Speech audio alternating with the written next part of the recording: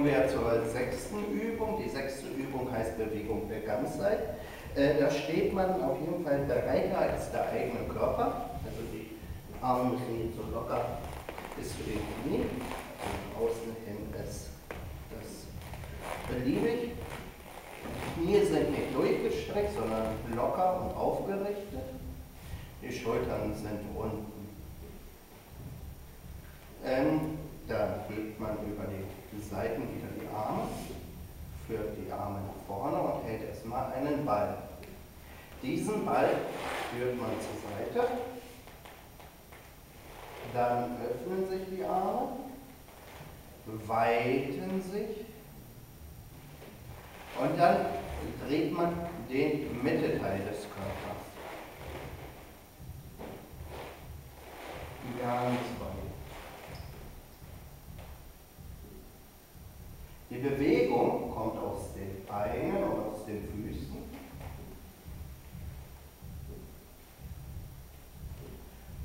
Und nach und nach sollte das Gefühl der Grenze zwischen der Innen- und der Außenwelt sich auflösen. Bewegung des Ganzheit. Also es steht sozusagen, ihr seid Mittelpunkt des Universums und das ganze Universum dreht sich um. Das macht man insgesamt neunmal. Dann hebt man einen Ball, führt ihn nach oben und jetzt äh, dreht man den oberen Teil.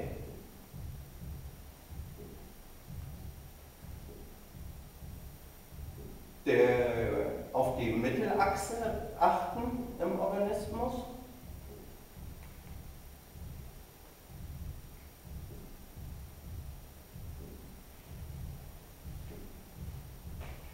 Ist nicht so entscheidend, ob der Ball groß ist oder ganz klein, sondern dass ihr hier oben einen kleinen Drehpunkt habt, um den sich die ganze Achse des Menschen dreht, bis in die Füße rein. Auch hier macht man das neunmal. Dann geht man über die Seite runter, führt den Ball nach vorne. Man stellt sich vor, man hat die Welt in den Armen und dabei nicht den Entenpopo rausstrecken, sondern Bauch einziehen, Becken aufrichten, dass die Lendenwirbelsäule vor allem hier gestreckt ist. Und dann weite Bewegung.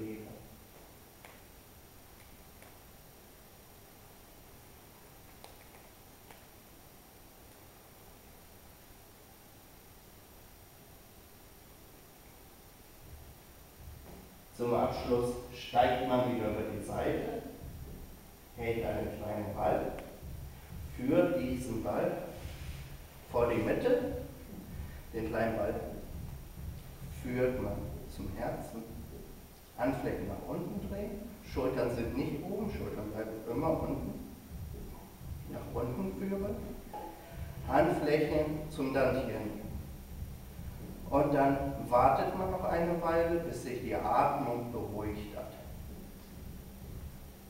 Dann werden die Hände an Seiten abgestriffen und man geht in den normalen Schulterbreitenstand.